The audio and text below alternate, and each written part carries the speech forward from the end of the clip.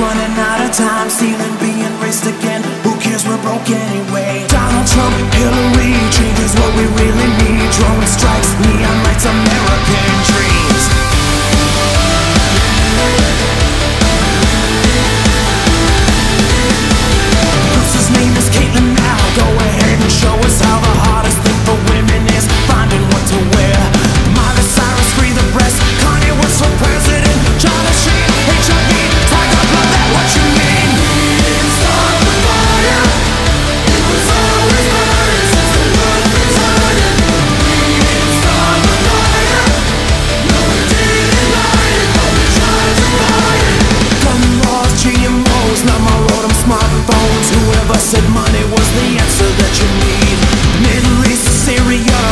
Jesus said